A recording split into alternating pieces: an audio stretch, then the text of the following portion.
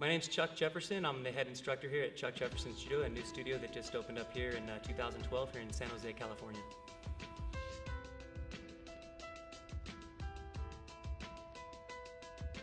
We just started our program here uh, in our new location here in San Jose. Uh, we start kids at four years old, so we have a, uh, our first course is for four to six year olds, which is a real basic, you know, kind of a pre-judo class where uh, it's real basic fundamentals and movements. Um, we work a lot on basic coordination, agility, and balance exercises with the idea is to kind of have the kids progress into the junior judo program when they're, you know, six or seven years old. So, you know, I think judo is just an amazing sport, uh, martial art for kids to, to learn. Um, unlike a lot of other sports, we learn a lot about cooperation, and that's something that you don't get in a lot of other sports. Um, kids have to learn to cooperate with one another because it's hands on with judo. The kids have to actually interact with each other. It's physical, they have to work with one another, they have to cooperate and learn techniques together. So, that cooperation and the skills that they learn with that is something that takes their experience way beyond the mat. Uh, it makes them humble, it makes them be aware of other people and their surroundings. So it's the kind of skill that you don't get when you play a lot of individual sports. Although judo is an individual sport, it takes a team and it takes a partner and a good uh, you know, facility to interact with each other and, and train.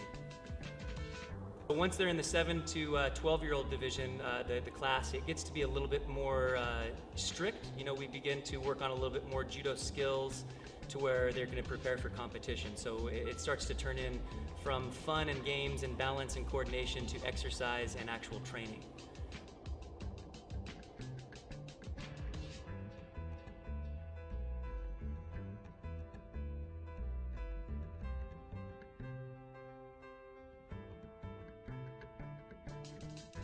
Um, we also have an adults program here. Um, we have an adults program that basically trains three days a week, and we focus a lot on tachiwaza. With judo, we're, we're about 80% standing and 20% on the ground for newaza as far as the tournament goes. Um, as far as practice, um, I've always been a big fan of newaza, so we spend about 50% of the time on the ground doing arm locks, chokes, and pins, and the other 50% standing up practicing the throws.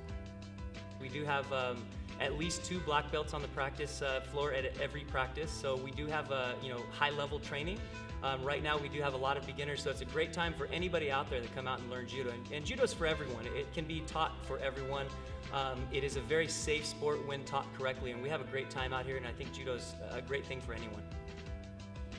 So judo is one of only two martial arts that's actually an Olympic sport. Um, judo was entered into the Olympics in 1964 in Tokyo. So Fortunately for me, I was actually a fan at the 1984 Olympics when I was a little boy. My instructor took me to the Olympic Games to watch in Los Angeles, and from that day, it was always my dream to, uh, you know, be a judo champion and hopefully go to the Olympics one day. You know, my my judo career ended in 2008, where I was actually the alternate for the uh, 2008 Olympic team.